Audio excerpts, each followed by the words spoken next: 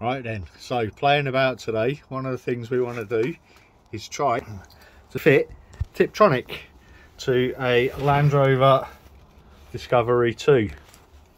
So basically we want to get this little puppy here fitting into there. What are you reckon, Stu? We have a crack? Easy. Come back to you in a bit. Right then, so here we go. Here's the two selectors. That's obviously the standard TD5 selector. And then we have the BMW Tiptronic. So the first problem we've come across is actually the depth at the bottom. So what we're going to do is just modify the plate that it sits on. So all we're going to do is just for now take this hole out here and then we can sort out about a different plate once we get it all working.